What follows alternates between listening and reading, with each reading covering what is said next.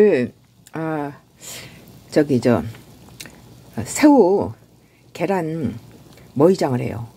본래는 새우하고 계란 넣어가지고, 어, 이렇게, 어, 새우장, 새우 계란장을 자주 했는데, 오늘은 예, 머위를, 밭에서 있는 머위를, 예, 이렇게 따다가 이렇게 생으로 같이 끓는 물에다 같이 넣어서 머위랑 같이 음, 머위 새우 계란장을 지금 만든 중이에요.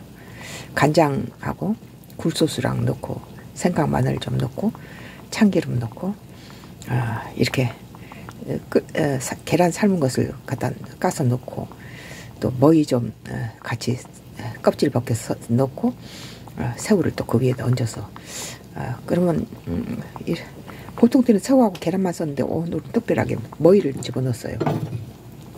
어, 머위는 뭐 건강에 좋기 때문에 어, 소화도 잘 되고 여러 가지 성인병에도 좋죠.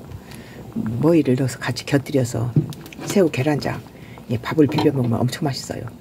국물이 더 맛있어요.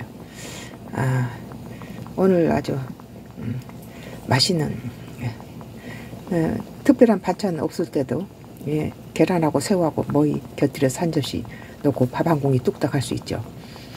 음, 어, 오히려 이게 장조림보다 훨씬 더 맛있어요. 그리고 건강에 더 좋죠.